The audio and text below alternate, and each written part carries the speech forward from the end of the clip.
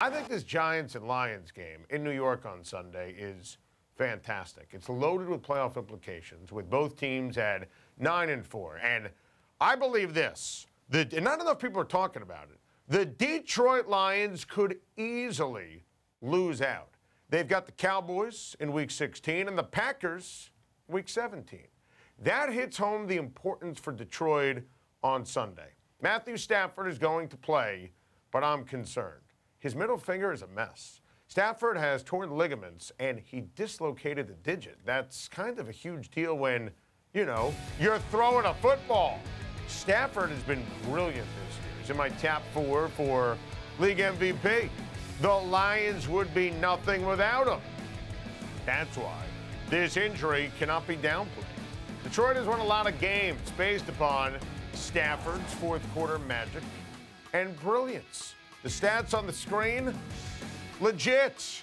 Sunday is going to be tough with the injury.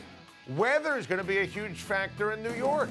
And let's be honest, would have even been a tough game for Matthew Stafford and Detroit with the way the Giants were playing on defense. Steve Spagnuolo deserves so much credit, so much credit.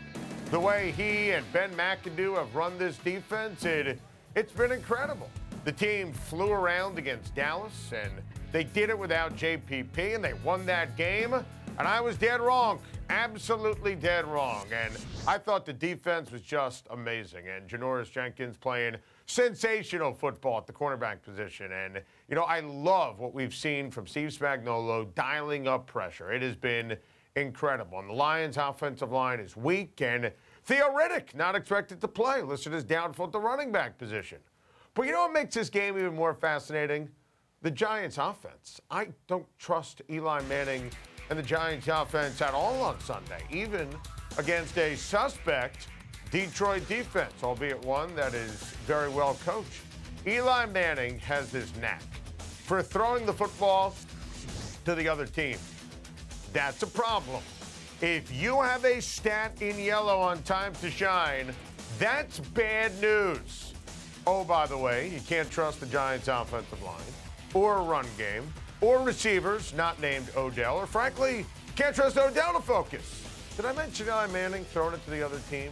Look, I think the Giants are better than Detroit with Stafford compromise, and both teams need to bank wins down the stretch. I really don't trust Eli Manning this season at all, but I really don't trust Matthew Stafford against the Giants defense without all of his fingers.